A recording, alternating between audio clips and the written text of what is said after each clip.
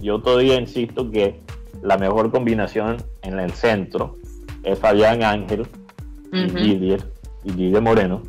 Pero con todo y eso, eso no soluciona algo que es realmente el control en el medio campo y un jugador creativo en el medio campo, porque Ángel sí tiene un buen pase desde distancia, pero tampoco es un jugador creativo. Entonces, regresando, regresando a lo que tú dijiste al principio, Karim, el día, las decisiones.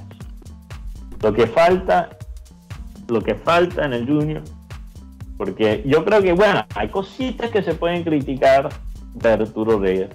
Hay, hay, dos quizás jugadores máximos que se pueden criticar. Vázquez y bueno, Guti critica a Biafra, yo creo que es debatible. Zambuesa tampoco hizo bastante. Pero el equipo jugó bien, el técnico pudo interpretar el partido relativamente bien.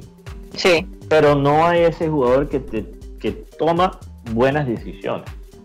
No hay ese jugador porque se C3 con todo el talento individual que tiene, con todo el, el esfuerzo que él mostró,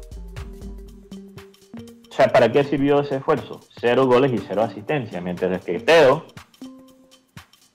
que de vaina puede correr, tuvo una asistencia y el primer gol.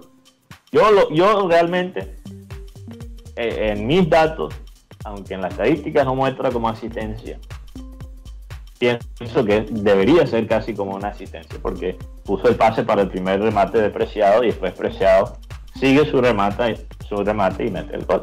Entonces, ¿qué se puede hacer en ese sentido? Bueno, eso no se tuvo en cuenta en la construcción del equipo.